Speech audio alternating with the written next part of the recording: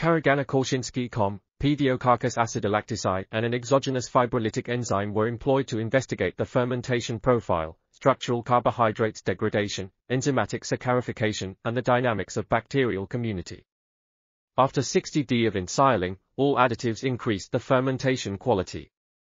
This article is titled Lignocellulose Conversion of Ensiled Karagana-Korshinsky Kom.